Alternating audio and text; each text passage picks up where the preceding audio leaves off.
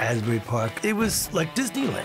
It's this exotic feast for the eyes and ears. You just floated a foot off the ground all day long, lifted by this great music. There was a certain moment in time when something happened here that wasn't happening anyplace else. That mattered.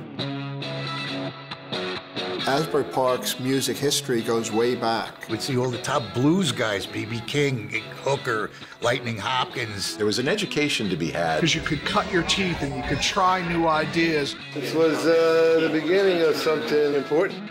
The Jersey sound, whether it be Southside Johnny or Bruce Springsteen, that Jersey sound is distinctively and uniquely Jersey. It's not black Jersey, it's not white Jersey, it's Jersey. It defines us as, as a group, not separate and apart, but it brings us together. It's soul, is what it is. If you wanted to do your thing, you could do it in Asbury. Asbury Park went through what a lot of cities went through during that time. African Americans and the Italians, the Jews, were not really permitted east of the tracks. Black people started complaining. They were living in terrible conditions, so they burned it down. All of a sudden, people are rioting in the streets, they're burning buildings. It seemed like the next day, we were in different worlds.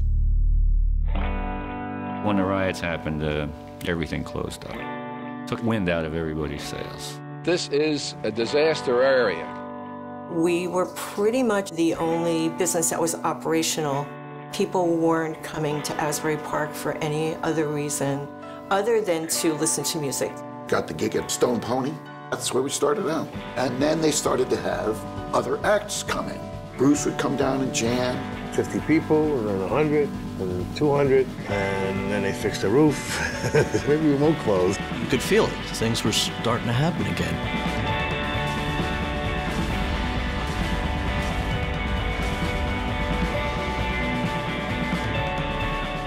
Music does bring people together.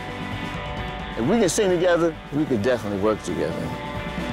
Everybody's broken, so we are the fixer of broken things.